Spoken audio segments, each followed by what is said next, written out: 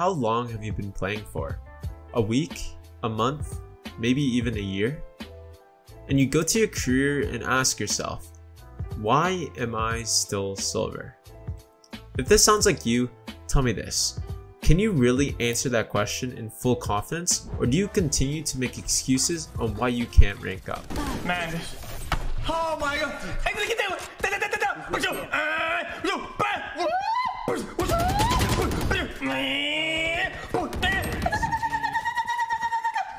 My name is Rooney, I'm a Valorant coach and player who has reached Immortal 3 in every single act of the game.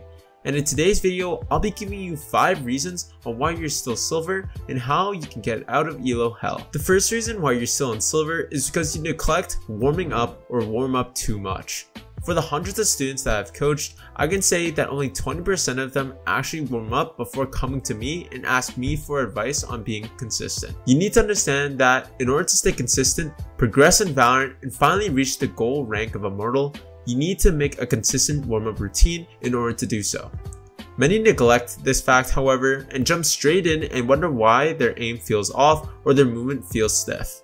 Just like any skill that you want to improve, you need to do a warm up in order to fully progress and have a productive session of playing. What I suggest is you should only warm up for around 15 to 20 minutes. This is the sweet spot in order to get yourself back into the groove of the game without being too little where you don't gain an actual warm up and not too long to burn yourself out before you even get to play ranked. Many also overcomplicate warming up. Warming up can be as simple as going to the range for 5 to 10 minutes and playing 1 or 2 DMs for another 10 minutes. It isn't long at all and you will thank yourself massively as you're destroying your enemies like usual. Moving on, the second reason why you're still hard stuck in low elo is that you don't manage your time well. It's no secret that the best way to rank up as fast as possible is to simply play Valorant as much as you can. However, this does not mean you need to spend up to 4 to 5 hours every single day playing in order to reach your goals. Although you do need to manage your time in order to fit in at least a couple of games every single day. The best way to do this is to look at your schedule from a wide scope and determine what you need to do during every day. Find things that are consistent in your schedule, such as school, work, and exercise. Now, fit your playing times in between blocks in order to maximize as much improvement as possible in the shortest amount of time. In order to improve, it's better to stay consistent and keep a schedule as best as possible rather than skip some days and have other days be congested with Valorant to make up for the lost time. This will allow you to play more on the long term and avoid burnout in the future. Another reason why you're still stuck in silver is because you don't keep yourself accountable. Not only do you make excuses on why you're hard stuck, you also don't do anything to improve yourself and avoid putting in the work to improve on your weaknesses. If you ask any pro player in Valorant, one of, if not the biggest tips they have is to improve and learn from your mistakes and make sure they never happen again. I personally have kept this concept even after reaching my goal of Immortal, which allowed me to skyrocket through the leaderboard and even helped me improve while I was competing against pro players. However, this is not a skill that can be learned overnight,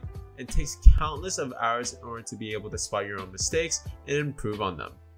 The best way that I found to improve on your accountability is to really process why and how you died every single round. Ask yourself questions like what could I have done better or how could I have prevented my death and thinking of solutions on how to prevent this in the future. Once you do that, directly apply it and focus on it on the next round. For example, if you found that you died alone and could have prevented the death if you had a teammate with you and asked for utility, make sure that every round after, you're focusing on always being within a teammate's range in order to be traded. This is just one of many examples and can be applied to various different situations. But the main thing is that you are actively applying what you learned from the last round and improving on them. This will make you slowly and slowly become a better overall player. If you still struggle with this concept and have no idea how to actually apply this in your games, I wanted to mention that I do offer coaching.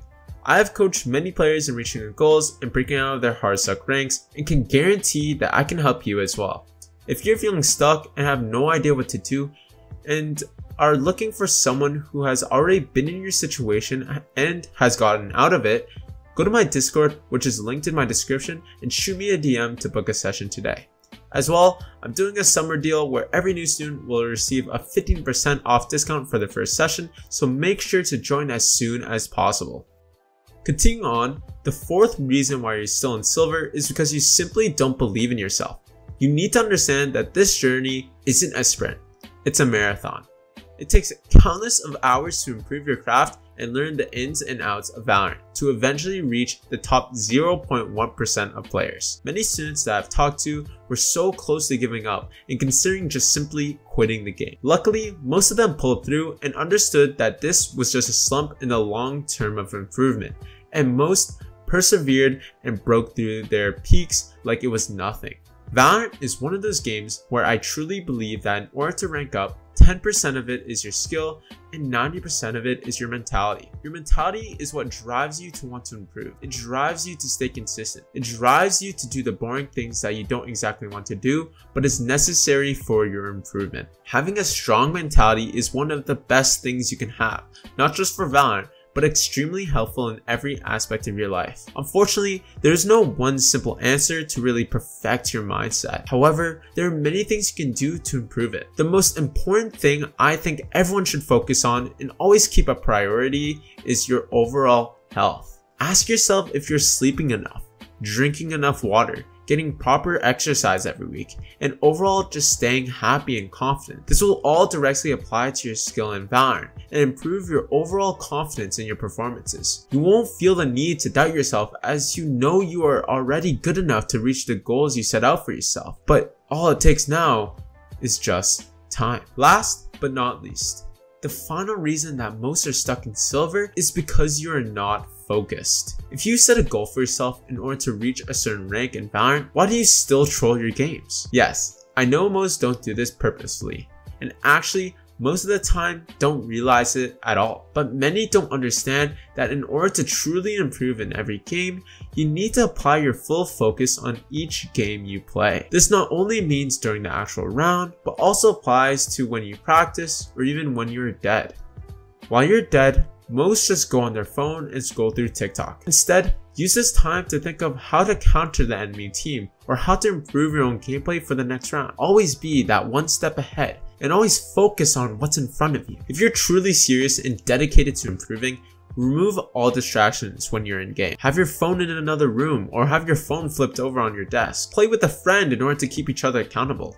Eat gum in order to put your body into a state of focus. Do these simple things to improve yourself and stop wasting your time. Take every last second while you're in your ranked game to try your best and use it to increase your skill at every chance you get. I hope you guys learned a lot from this video and took all the reasons into consideration on why you're hard stuck. Also, if you haven't, make sure to leave a like and subscribe if you found this video valuable. And again, if you're looking for someone who can take your game to the next level and help you reach your goals, make sure to join my Discord and send me a DM to book my coaching sessions. As always, thanks for watching and have a great rest of your day.